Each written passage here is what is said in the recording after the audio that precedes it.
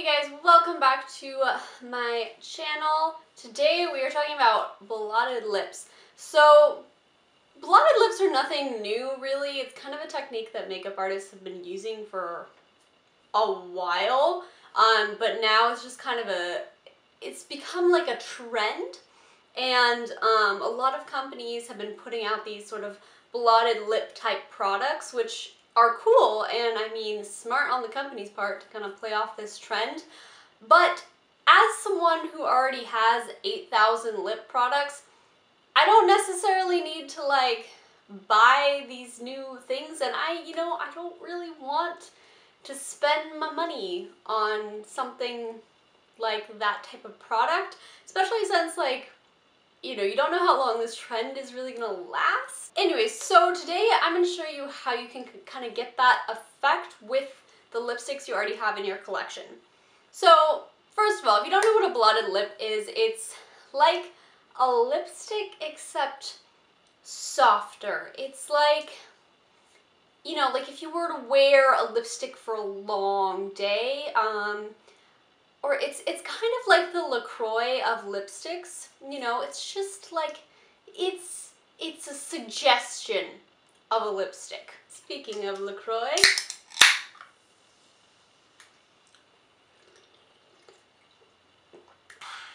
not sponsored.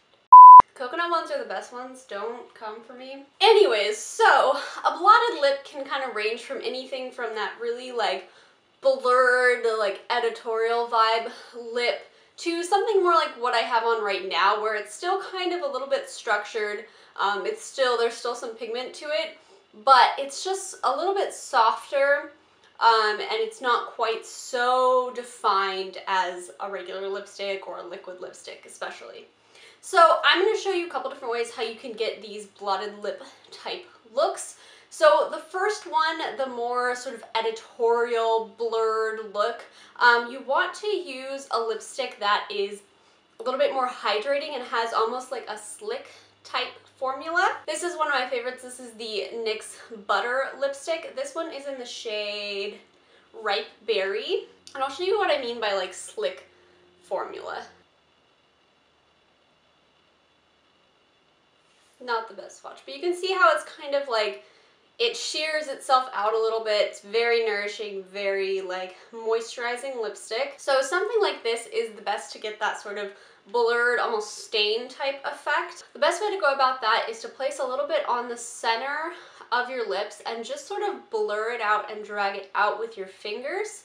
Um, and this is really going to give you that blurred, very editorial stain vibe. And then you can go back in with that lipstick and add a little bit more color in places you think need it.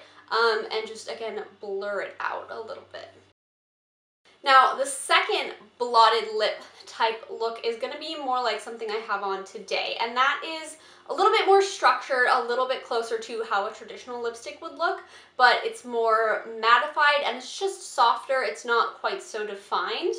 Um, so for that, you want to use a cream lipstick that is a little bit more long wearing. I wouldn't say to use a matte lipstick because I think that's going to be too dry and you're not really going to be able to get that full blotted effect. But if you use something with more of a satin finish that you know is a little bit more long wearing and that does dry down eventually, that's going to be your best bet for this type of look. So some of my favorites are the number seven Moisture Drench lipsticks.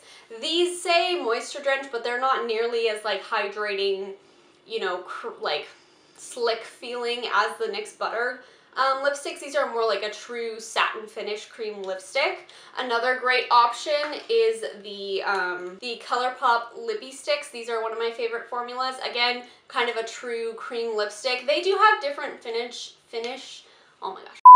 They do have different finishes, um, but I find that like after you put them on, they all kind of look similar. They all kind of have that um, vibe where like you put it on and it looks creamy, but then after a while it does dry down and is a little bit more matte. And the matte ones like dry down a quick, a little bit faster, but I find they still work for this type of look. So these are both great affordable options for um, this type of look, but you know, really any like traditional lipstick is gonna work for this. So for this, you just wanna kind of apply your lipstick as normal. Um, and just kind of follow the shape of your lips. You know, do what you would normally do applying a traditional lipstick. Um, and clean it up if you're like me and are terrible at applying traditional lipsticks. So once you're satisfied with your lip shape, you're gonna wanna take a piece of tissue. Um, I just used toilet paper, that worked best for me.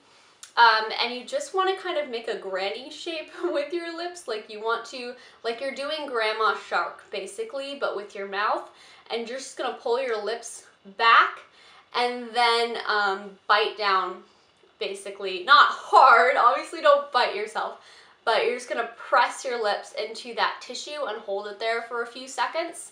And then when you release, um, you can see that all the shine is gone from the lipsticks and it just kind of looks a little bit more blurred and stained. If you want it to look even softer, you can go in a second time with the same um, technique with the tissue and just, you can keep doing that really till it gets to the point where you, you, you like the look of it. And then I just like to go afterwards and just kind of pat it in and kind of blur it out a little bit more with my finger. Um, and yeah, that's pretty much it for a blotted lip. So yeah, this is probably to be a short video. Um, guys, thank you so much for watching. I hope this was helpful and that you can still be trendy and get on the blotted lip train um, without having to go out and spend money on specific products for it. Hope you enjoyed this video. I hope you found it helpful. If you did, please give it a thumbs up. Please, please, please. And hit subscribe if you want to see more content from me. I upload about once a week usually. And then if you want to get notified when I upload, you can turn on the notification bell thing and hit all notifications because I think that's what you're supposed to, that's what I'm supposed to say, right? That That's the mantra. Did I get it right? Okay. But anyways, yeah, if you if you want to know what I upload, you can also just check my Instagram stories. I post on there every time I upload a new video. And I think that is it. Please uh, subscribe again, and I will I will see you guys next week. Okay, bye.